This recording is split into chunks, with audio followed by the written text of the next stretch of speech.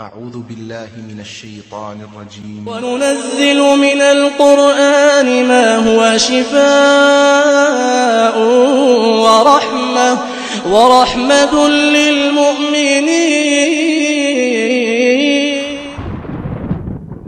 يوم من الأيام قال النبي له خذ زكاة رمضان وخلها عندك أمانة عند من؟ عند أبي هريرة.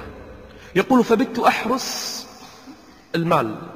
طعام طعام زكاة الفطر يحبسه حتى يوزع على الفقراء. يقول وفي الليل دخل رجل دخل رجل يسرق يسرق من أي شيء؟ من المال. يقول فإذا برجل يسرق فقام إليه أبو هريرة فمسكه مسك الرجل. قال والله لأرسلنك إلى رسول الله. ما راح أهدك. أنت سارق تسرق من وين بعد؟ من الزكاة. فنظر الرجل وبكى.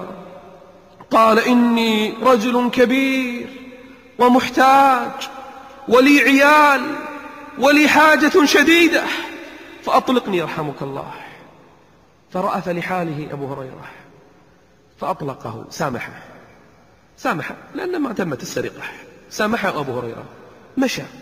في الصباح جاء أبو هريرة للنبي عليه الصلاة والسلام ما قال شيء. فلما نظر النبي إليه قال يا أبا هريرة قال نعم يا رسول الله. قال ما فعل أسيرك البارحة؟ إن هو إلا وحي يوحى. الله يخبره. إذا ما أخبر أبو هريرة الله يخبره. فقال يا رسول الله جاء يسرق فمسكته فقال إني رجل كبير ومحتاج وعندي عيال ولي حاجة فتركته. فقال النبي عليه الصلاة والسلام يا أبا هريرة أما إنه كذبك سيعود. شوف الليلة راح يرجع.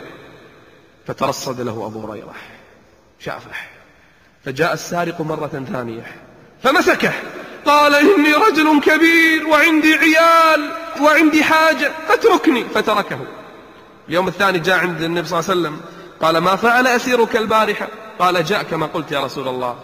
قال ماذا؟ قال قال كذا. قال كذبك. سيعود. راح يرجع الليلة الثالثة. مسكه أبو هريرة. الليلة الثالثة. قال والله لن أدعك الآن. الحين غير. هذه ثالث مرة. والثالثة تامة. الآن أذهب بك إلى رسول الله. قال سوف أخبرك شيئا فاتركني. أعطيك شيء بدل أنك توصلني لرسول الله. قال ما هو؟ قال إذا أويت إلى فراشك فاقرأ آية الكرسي. الله لا إله إلا هو الحي القيوم. اقرأها فإنه لا يزال عليك من الله حافظ ولا يقربك شيطان حتى تصبح. تعجب أبو هريرة كلام كبير هذا. راح حق الرسول الصبح. قال يا رسول الله جاءني. فقال لي كذا وكذا. فقال النبي عليه الصلاة والسلام قال صدقك. يعني آية الكرسي إذا قلتها لا يقربك شيء حتى الصباح. صدقك وهو كذوب.